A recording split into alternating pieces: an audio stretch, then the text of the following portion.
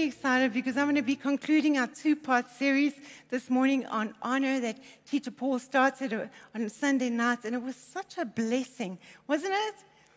And one of the things he said was this he says, We are living in a culture of criticize, condemn, and cancel.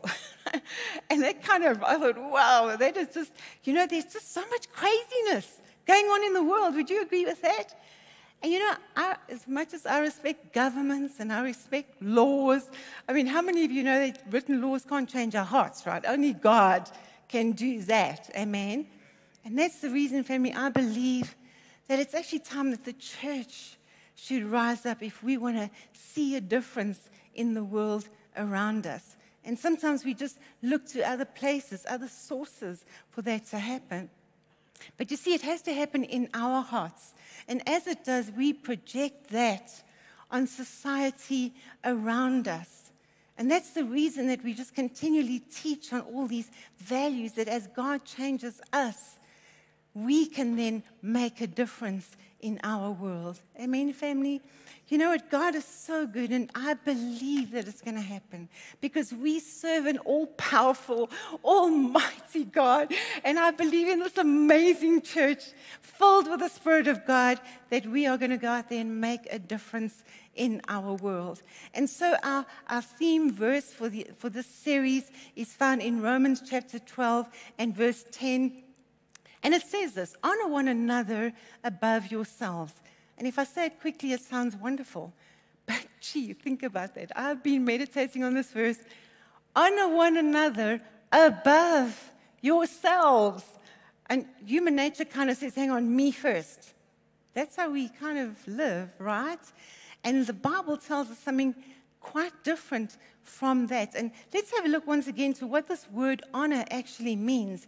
It means to value, to respect, to highly esteem, to treat as precious, weighty, and valuable. That, that's a big deal. That just, just to the people that you really think are worthy of honor. no, no, no, no, no that person that backs a political party completely opposite to what you back, that nasty next door neighbor of yours, and yes, even your ex, right?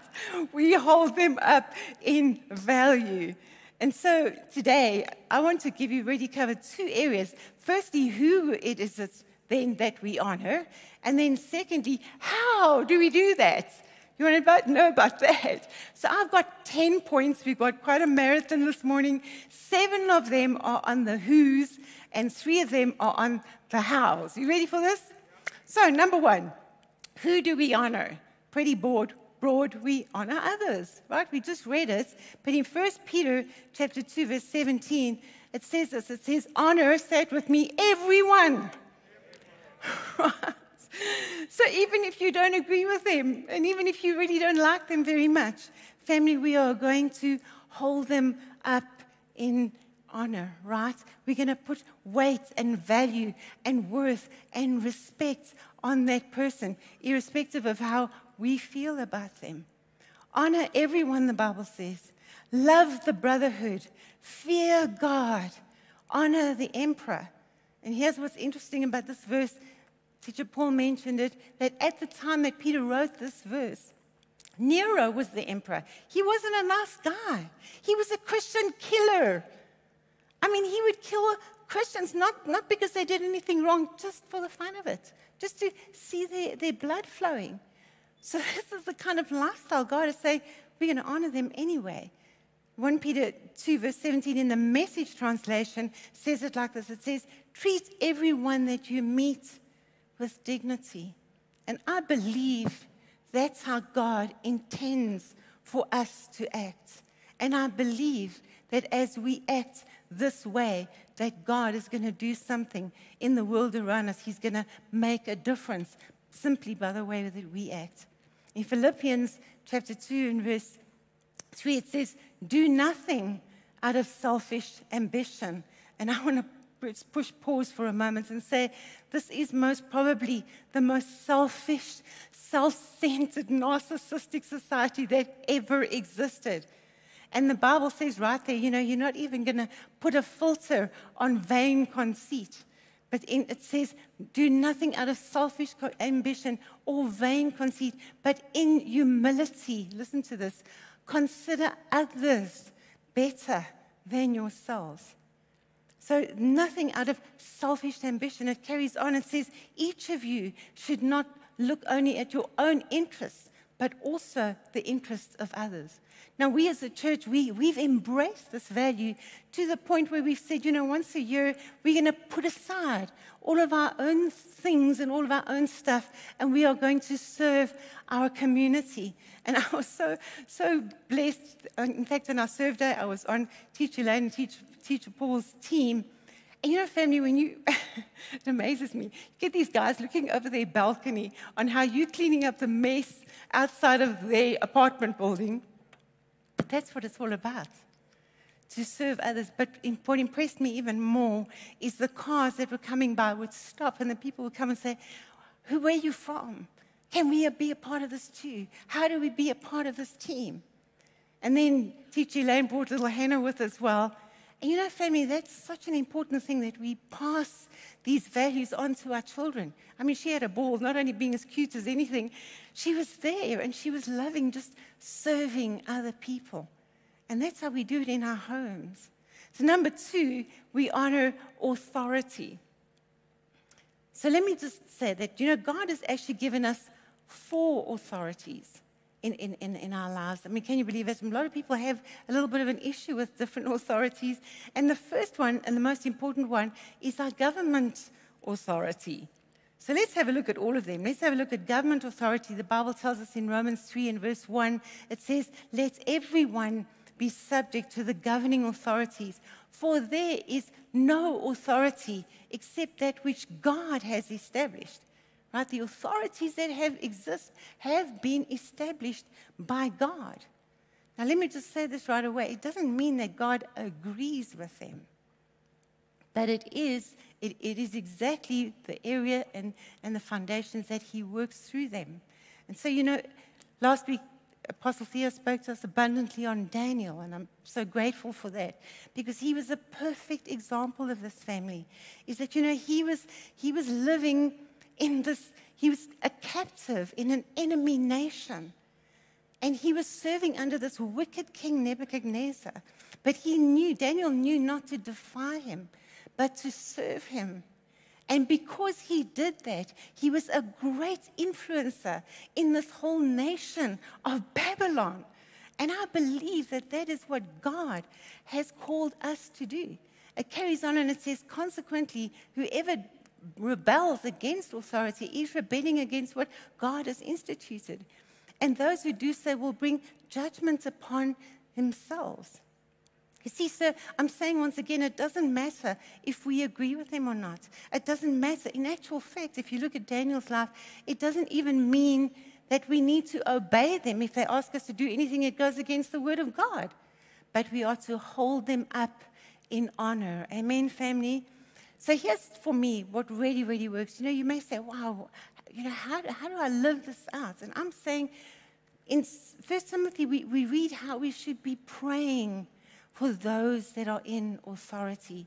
And that is a great way to honor the government officials, that we actually pray for them every single day, all of the government authorities. And let me say this as well is that, you know, there may be a person that is in office that you sincerely, intensely dislike, but it actually doesn't give anybody the authority to speak badly of them. And you know, there are churches that I've heard that actually even curse political parties because of what they stand for. And listen, I understand the sentiment, but the Bible does not give us the right to speak negatively over anybody. Amen, family? It's just not scriptural. As I said, it doesn't matter whether we agree with them or not, whether we dislike them, whether we like them. We do not speak curses over them because we want the best for our nation. We want to live a happy, peaceful, godly, successful life. So that's what we pray. We pray for our government, we pray for our leaders, those in authority, our president, that they would have a God encounter. That they would lead us according to godly principles, that they would lead this country into peace and prosperity, and, and that there, there would be just, just what God intended for us, that we can live our lives out in godliness, family. And that's important that we do that. And even for our police officers, our police force, that we have honorable and honest police force and military, and in fact, anybody that actually puts their lives in danger in order that we may live in peace. Amen. So we just keep them up in prayer. The second authority that God has put in our lives is where we spend our daytime hours. So that would be our workplace, or for the younger people, maybe school and, and, and varsity. And once again, young people, I'm saying pray. Pray for your teachers, pray for your headmasters, pray for your lecturers. And maybe you don't like them, and maybe they're just not fair. Maybe you just don't really agree with what they're saying. But I want to tell you, when we pray for them, it's going to benefit us greatly. And for those of us who, who are working, let's pray for our boss. Let's pray that God would lead them, guide them, because I want to tell you, every decision that they make affects us. Amen? So when we pray for them to be empowered, we're empowered too. But the reason we pray is because, thank God, we've got a job. Amen? And we believe that God will lead our bosses. And if you're the boss, put yourself under authority. Make sure that you submit to somebody because that's where our authority comes from. So maybe there are, are non, non-staff board members or, or trustees, and then pray for them. And then, family, the next one, authority that God has given us is family authority. And that would be in our households, obviously, be our parents, okay? And then also there will be, um, it'll be in our husbands in, in our homes. I mean, family, very, very important that we submit. And once again, young people, I'm saying, honor your parents. And let me tell you, I know it's not always easy. And you may not like it, but the Bible tells us that we need to honor them. And I'm going to come back to that in a moment. So I'm going to leave that with you for a moment. And then the last authority that we have that God has given us is the most important of all, and that is our spiritual authority. I'm going to read to you, and these would be the people in the church that look after you so well. Our dream teamers, our, uh, our group leaders. Let me read to you 1 Timothy 5 and verse 17. It says, The elders who direct the affairs of the church well are worthy of double honor, especially those whose work is preaching and teaching. So I'm speaking about our pastors, that when you maybe have lost a loved one, that are there for you, that help you, that do the funeral service. Or maybe when you want to get married, that walk you through all those foundations and make sure you have a very firm foundation to build your marriage on and do the services for you. And then I want to today really also just speak about our children's church ministers. Family, sometimes we forget about them. They are giving their own time and effort to, to give the word of God to our children and to pray for them and to hold our crying babies so that we can have time in the word. Let's show honor to them. Let's show appreciation to them. They don't have to do it. They do it because they love you and they love God. You know, even our car, in fact, can I just say, can we just do a shout out to all of our dream teamers right now? Amen. Praise God. Praise God. And if you are not on the car you're not in a dream team, let me say, today we have got growth track step one. Do the growth track. Become team ready. Join a team. Use your gifts and talents to the glory of our God. I want to go back now again to who it is that we honor. Number three, we honor number now is that we honor parents. And I said I'm coming back to that. The Bible tells us in Ephesians 6 and verse 1 that children should obey their parents. But now we're not children anymore, right? But in verse 2, it says this it says, honor your father and your mother. And sometimes when we get older, that becomes even more difficult. but family, the Bible is very clear. It says, honor your father and your mother, which is the first commandment with a promise that you may, it may go well with you and that you may enjoy a long life on the earth. Now, if I may, in the, the words of my grandson, nine years old, he says to me, back in the day, Nana, BC, before COVID, in the words of my grandson, back in the day when I was a little girl, that's what we did. I mean, you, let me say, you honored your parents. You were taught to do. There was no other way. You did that. And I, I'm so thankful to God, thankful to my God for the, the stable home that I grew up into, S- thankful to God for the fact that I had parents that were there for me. And family, I can tell you right now, because of that, I have seen God's favor on my life, undeserved favor. And I believe it was because of the way we honored our parents.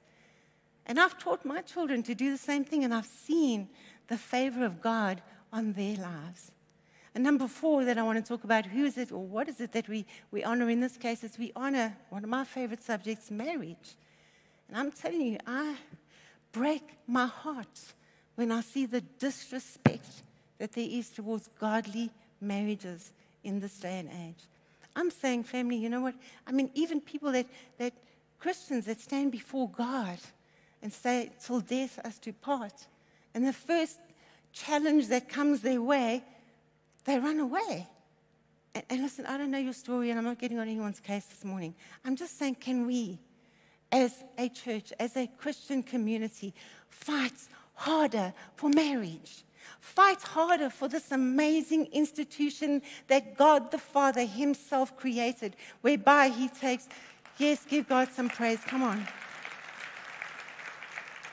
Whereby God Himself joins a man to a woman and makes them to become one flesh in this wonderful covenant of which He is the center. Amen, family? And here's another thing you know, back in the day, we used to call it a church wedding, right? Just going to throw that out there. When we say our vows, let's make sure that we're in a place where we're really standing before the altar of God. In the well, you know, in actually the Marriage Act of South Africa, it only gives you three other options other than a church. The other, the one is Home Affairs Office. Who wants that? Right? The other one is a home, a domestic home, and the last one in situations where it's pretty dire would be in a church, in a, in a, in a hospital. So we don't want to do that. Let's make a decision, and I don't have a problem with wedding venues, but let's make sure there's a chapel that we can solemnize our, our marriage according to the Marriage Act, which is what is required. Really important that we, we stand before God and say this is a holy institution which he created. Listen to what it says in Hebrews chapter 13, verse 4. It says, Marriage should be honored. Everybody say, by all. Family, uh, marriage should be honored by all. And the marriage bed kept pure, for God will judge the adulterer and the sexually immoral. If I may, once again, young people, hold on to your virginity. That's what God wants. He wants you to stand pure as you enter into this amazing marriage covenant that He created. 1 Peter 3, verse 7 takes it even up another notch, and it says it's in the same way. You husbands, give honor to your wives. Treat your wife with understanding as you live together. Now, I understand you probably never understand your wife, but the Bible is very clear the, the Bible does not give any husband the right to manipulate or domin, dominate or intimidate his wife. He's saying, give honor to her. In fact, the Bible says that she is, when you find a wife, you find a good thing. Right? She is a blessing from God. Have a look at this. Carries on. It says, She may be weaker than you are, but she is your equal partner in God's gift of new life. Treat her as you should, so your prayers will not be hindered. Now, you know, I can imagine God saying, You know what, I hear your prayers and I really want to bless you, but you are not allowing me to. And then guys walk around and they say, You know God never answers my prayers. Hello. So let me throw something out there to all the husbands. At the end of the service, when you leave, walk around the car to the passenger side, unlock the door, open the door, pick your wife off the ground because she would have passed that. Family, we are going to be people of honor. Amen. Number five, we honor the age. The Bible says the white haired person. I've kind of disqualified myself, but anyway. Leviticus chapter 19, verse 32 says, It says, Rise now, back in the day, I want to tell you when an older person walked in, we had to stand up and we would say, Good morning, sir. Good morning, ma'am. Would you like to sit down? Let me read this to you. Rise in the presence of the aged, show respect for the elderly, and revere your God. I am the Lord. Amen, family. So we honor, especially those older than ourselves. In Job 12, verse 12, it says, Is not wisdom found amongst the aged? Now, you may say, you know what, I'm, I'm going to learn things that my parents never ever knew. I'm far more clever than they are. I mean, they don't even know how to use a phone. Really? Let me tell you what they know about. They know about life experience. You cannot learn that any other way but by having life. Carries on over here, it says, Does not long life bring understanding? So I want to encourage you get in, a, get in a small group where there's a couple of old golden oldies and talk to them about life and those age old things that we think are not important anymore that are so important in our lives. And golden oldies, let's not stick together. Come on, let's give out all that experience that we have learned through so many years. Amen, family. Number six, you're taking notes. Honor nature, okay? So, you know, think about this. Everything that God has created, He values. So, I mean, we should value nature as well. Let's not just destroy stuff for the sake of destroying it. Let's not litter. You know, I know there are people. I got that from you. I mean, I know people go hunting, and I'm saying, you know what, if you're going to make biltong, fine. But let's not kill just for the sake of killing. We're going to let that little bird chirp. We're going to let it live, family. Okay? It, it, says in Genesis 1 verse 28 God blessed them and said to them, Be fruitful, increase in number, and fill the earth and subdue it. It carries on and says, Rule over. Rule over actually means to manage well right? The fish of the sea and, and, and the birds of the air and every living creature that moves on the ground. Now, I'm sure there's some living creatures that move on the ground that you don't like very much. Rats and mice are my thing. but this is, you're supposed to manage it well, which means they don't belong in my house, they belong out there. See, that's how we do it. and then the next one, number seven, most importantly, we honor God. That's what it's all about. That we come and we honor God with our lives, family. You know, it, it's sad that for many people, God has become this kind of celestial Santa Claus. You know, God, I just don't want to go to hell. I want to go in heaven. And here's, here's my prayer list of things that I need from you today. And family, you know what? Even when we come to church, the main reason that we come together as a family is to honor our God. I mean, we are servants and ministers to our God. That's the most important thing. Let me say this as you know, it's not even about do I want to get up in the morning and say, well, am I going to get something out of the worship? Am I going to get something out of the message? We come here to honor God. And when we do that, you will. You will have an amazing weekend in services because when we honor God, He pours out His presence over us. And it's about coming to God and say, This is the first day of the week. And before I go to work, and before I play, and before I do anything, I'm going to honor you, my God. Amen, family. I want to tell you, it matters to God. Malachi 1 verse 6, it says this A son honors his father, a slave his master. And we just stop there and say, That's a given. That's not even debatable. Let me read it again. A son honors his father, a slave his master. And then it carries on and says, If I am a father, where is the honor due me? If I am a master, where is the respect due me? Says the Lord Almighty. In chapter 2, he actually says, I'm offended because you are giving your best to other things. I mean, God is crying out to be honored. And I want to get on your case a little bit here. That's talking about physically making the effort to be in church. Give yourselves a hand that you're here. Yes. And you guys on live stream, we understand. If you're far away and if you've got comorbidities and you've got health issues, we understand. But if you're at home and to get up in the morning and say, Should I go? Or shall I watch it later? Or shall I maybe just go to the mall first? Come on, family. Come on. We are here to let God know I honor you first. You have first place in my life. Amen. Right, so those are the seven who's. We're now going to look at the three hows. And the first thing is how do we honor simply by putting them first. I was at a, a Christian uh, uh, event the other day and they had this like buffet dinner. It was quite funny because everyone's saying, No, you go first. No, you go first. No, you go first. No.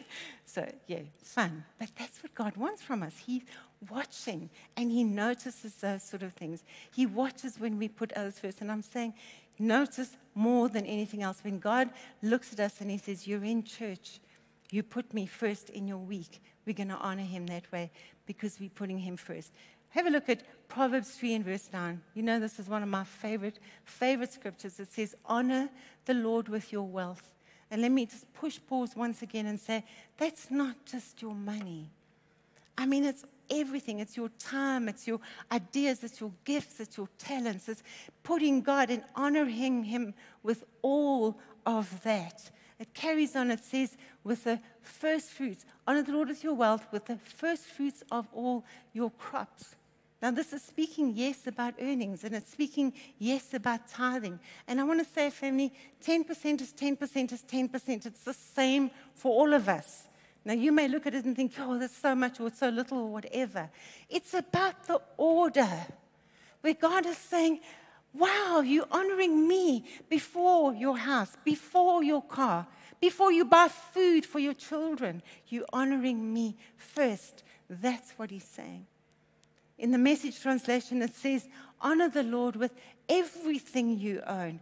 Give him your first and your best. And then the second thing of how we honor, and this is something we all need to be reminded of regularly by our words. What is it that we are saying about people in front of them and behind their backs?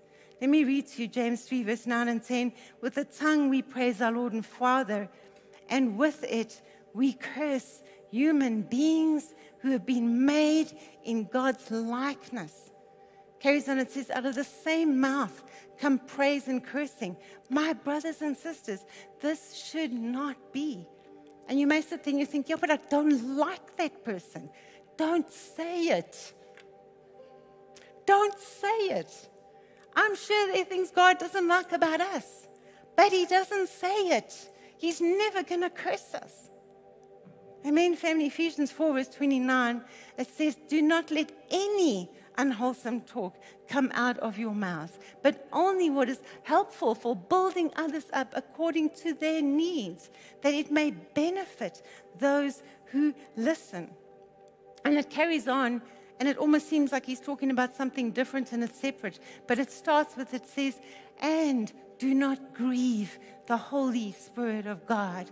Imagine that every single time that we say something negative about a person who's been made in the image of God, that the Holy Spirit is grieved, saying, God said that He sent His only Son. You know what it says. Last one I'm going to end with this is that we honor by protecting them. You see, everything that we honor, we value, and those things that we value, we protect. I mean, if it's something that is great, worth a lot of money, we're going to uh, protect that thing. If it's something that has great sentimental value, we're going to uh, protect that thing. So I want to tell you a story right now. A lot of you may know a great baseball player that goes in the US. His name is Babe Ruth. How many of you have heard of Babe Ruth? Thank you. Does this look dangerous? Let me tell you the story about Babe Ruth. He was one of the greatest home, home run hitters, I'll get that right, of all time. He, uh, they actually signed him up at such a young age, he wasn't able to sign, him, sign himself. His parents had to sign for him. And family, through his career, Babe Ruth signed many, many baseballs, but he only signed seven bats. And for many years, the sixth, seventh bat, they found the sixth, knew exactly where they were, but the seventh bat was nowhere to be found. They didn't know where it was. And years later, Actually, this guy had, had it, and in 1988, this guy was very, very ill. He had a nurse looking after him all the time, and he was on his deathbed. And he took the bat out and he gave it to his nurse. Her name was, was um, what was her name again? Marsha. Gave it to her. She didn't have a clue what it was that she had. The seventh bat that they've been looking for for so long. So she took the bat and she put it under her bed and she left it there for 18 years. And in 2006, she pulled the bat out. And this is not that bat.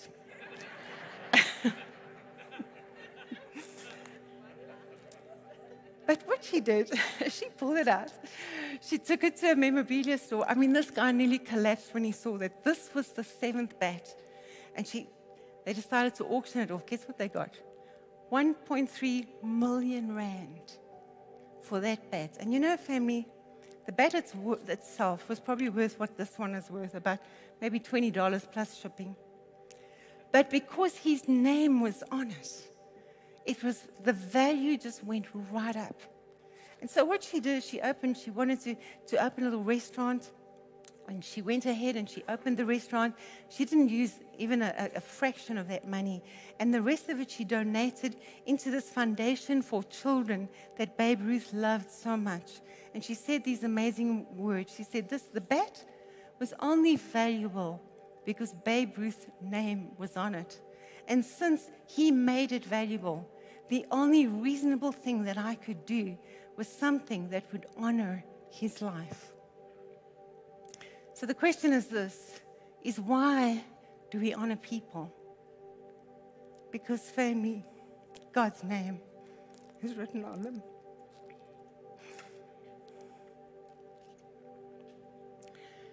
You see, and when we allow Jesus into our lives, He writes His name even on our hearts.